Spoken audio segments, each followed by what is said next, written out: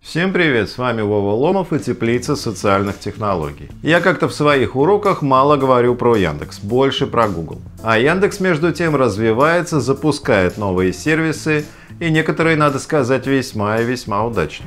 Один из таких Яндекс Коннект. Запустили они его, правда, еще в 2018 году, но я про это ничего не рассказывал, а значит будем считать, что это новый сервис. Он существует для обеспечения работы организации, именно для командной работы. Причем тут есть просто сервисы вашего Яндекс аккаунта, а можно настроить корпоративные сервисы уже через Connect.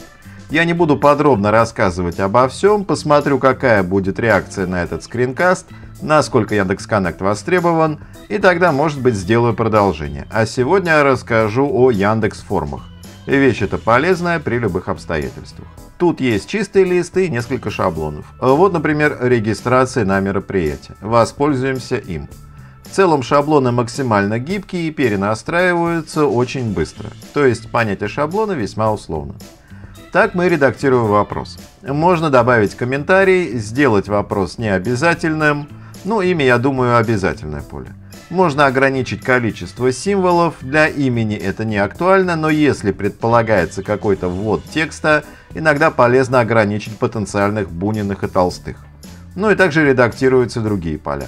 Сами поля мы берем отсюда. Все по-русски, предельно понятно. Давайте добавим ссылку. Например, это очень элитное мероприятие, и мы хотим знать все о потенциальных участниках. Это прямо обязательный вопрос. Очередность вопросов мы можем менять таким вот образом. И добавим еще чекбокс с одним вариантом. То есть мероприятие проходит три дня, участник должен выбрать день посещения.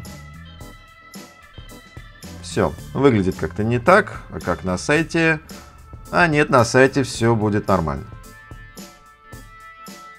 Единственное, вот это у нас обязательное поле, а номер телефона все-таки не будем делать обязательно. Отлично, можно добавлять на сайт. Копируем код вставки и идем на тестовый многострадальный сайт на WordPress. Записи. Перейдем в редактор кода и добавим скрипт. Что получается? Во, красота получается. Ляпота. Заполним. Я, честно говоря, уже заполнял это все, чтобы протестировать. И отправим. Спасибо, говорят нам. Возвращаемся на Яндекс Формы и смотрим, что мы получили с нашего многострадального сайта на WordPress. У нас есть одна новая форма. Вообще все они собраны еще здесь. Здесь их можно сортировать, если их много. А у нас одна и с одним ответом. Нет, уже с двумя. Первый, кстати, пришел минут через 10, второй через несколько секунд. У нас есть ответы, которые мы можем скачать в формате, например, XLS, то есть Excel. И вот она табличка, где собраны все пользователи, заполнившие форму. По-моему, отлично. В моих формах мы можем их копировать или удалять. Скопировать код, чтобы вставить куда-то еще. Тут есть, кстати, прямая ссылка. А также можно настроить доступ редактирования. Только для себя или для всех членов команды. Напомню, что Яндекс Connect сервис для командной работы и создания форм не где-нибудь там, а именно в командном аккаунте важно, чтобы они впоследствии не потерялись. Ну и еще такое удобное дополнение, тут есть статистика по ответам. Если у вас много респондентов, вы можете сразу видеть процентное соотношение, не надо скачивать, идти в Excel и фильтровать. Что касается Яндекс Connect, базовый доступ тут бесплатный. На бесплатном у пользователей по 10 гигабайт на диске есть ряд ограничений.